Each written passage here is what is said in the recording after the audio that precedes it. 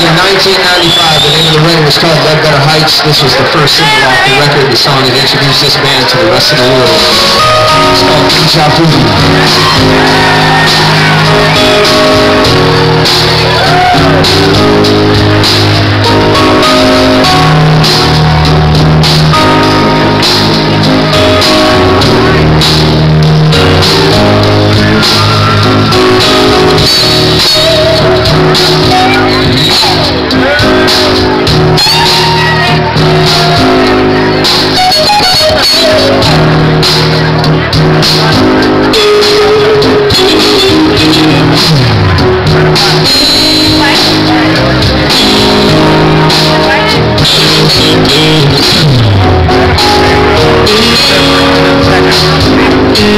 Thank you